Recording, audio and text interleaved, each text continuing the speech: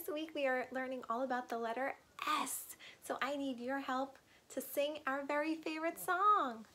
Where is S? Where is S? Here I am, here I am.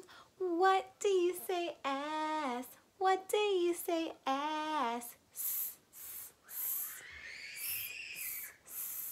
Where